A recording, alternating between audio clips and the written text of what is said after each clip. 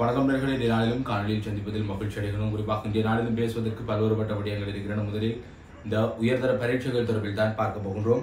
உயர்தர பரீட்சையை பிற்போடுமாறு கோரிய ரீட் மனுவானது நிராகரிப்பு நடவடிக்கும் கல்வி பொதுத்தராதர சாதாரண தர பரீட்சை தொடர்பில் அதாவது நீதிமன்றத்தில் ஒரு ரீட் மனு தாக்கல் செய்யப்பட்டிருந்தது. அது இன்றைய நாள் பகுதியில் தாக்கல் அதாவது நிராகரிப்பு செய்யப்பட்டிருக்கிறது.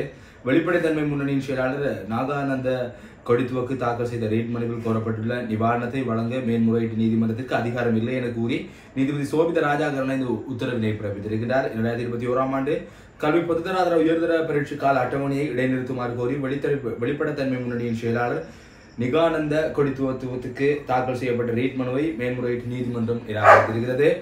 பிப்ரவரி மாதம் ஏழாம் தேதி ஆரம்பமாக உள்ள இரண்டாயிரத்தி இருபத்தி ஓராம் ஆண்டு காப்புத்த உயர்தர பரீட்சையை இருபது வாரங்களுக்கு ஒத்திவைக்குமாறு கோரி மேன்முறையீட்டு நீதிமன்றில் ரீட் மனு தாக்கலானது செய்யப்பட்டே நாங்கள் சொல்லக்கூடியதாக இருக்கிறது அதே போன்று யாழ்ப்பாணத்தில் கடத்தொழிலாளர்களின் போராட்டத்திற்கு தடை விதிக்கப்பட்டிருக்கிறது. கடத்தொழிலாளர்களின் போராட்டத்துக்கு எதிராக பருத்தித்துறை நீதிமன்றத்தில் போலீசாரினால் தடை உத்தரவு கூறப்பட்டுள்ளதாக தகவல்கள் வெளியாகி இருக்கின்றன. இந்திய இளவுவை படகுகளை அனுமதிக்க கூடாது என்றும் உயிரிழந்த இரண்டு கடற்தொழிலாளர்களுக்கு நீதி கோரியும் அமைச்சர் இதற்கான நடவடிக்கையை எழுத்து மூலம் வழங்க வேண்டும் என்று கோரியும் போராட்டங்கள் தீவிரப்படுத்தப்பட்டிருக்கின்றன. யாழ்ப்பாணத்தின் பல பகுதிகளிலும் கடற்தொழிலாளர்களால் இப்போராட்டம் வீரியம் பெற்றிருந்தது. எனினும் அமைச்சருடனான கலந்துரையாடல்களின் போது அமைச்சர் எழுத்து மூலமான உத்தரவாதத்தை வழங்க மறுத்ததை அடுத்து போராட்டம் மே மேலும் விரிவடைந்திருக்கிறது. இந்த நிலையில் நாட்டில் கோவிட் தொற்று தீவிரமடைந்ததை காரணம் காட்டியும் உயர்தர பரீட்சையை தொடர்படுத்தியும் பருத்தித்துறை நீதிமன்றத்தினால் போலீசாரினால் தடை உத்தரவு பெறப்பட்டுள்ளதாக தகவல்கள் வெளியாகி இருக்கின்றன அதே போன்று சண்முக இந்து கல்லூரிக்கு ஹபாயா அணிந்து சென்ற ஆசிரியைக்கு ஆதரவு தெரிவிக்கும் போராட்டமும் நாடளாவிய ரீதியில் முன்னெடுக்கப்பட்டுக் கொண்டிருக்கிறது.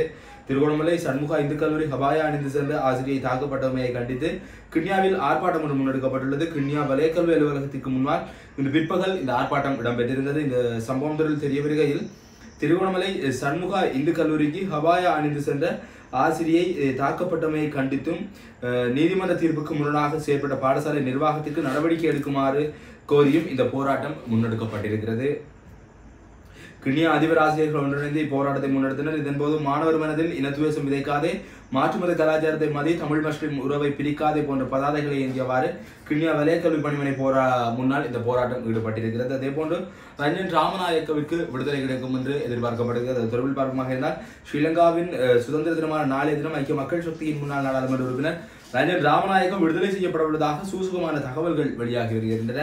ரஞ்சனா ராமநாயக்கவின் முகநூல் பக்கத்தில் வெளியிட்டுள்ள பதிவில் வெளிக்கடையிலிருந்து வெளியில் வரும்போது தன்னை நேசித்தவர்களுக்கான ஆவலாக இருப்பதாக குறிப்பிடப்பட்டிருக்கிறது. அத்துடன் நான்காம் தேதி முற்பகல் பதினோரு மணிக்கு ரஞ்சனை அன்புடன் வரவேற்க நீங்களும் பாருங்கள் என தெரிவிக்கப்பட்டிருக்கிறது.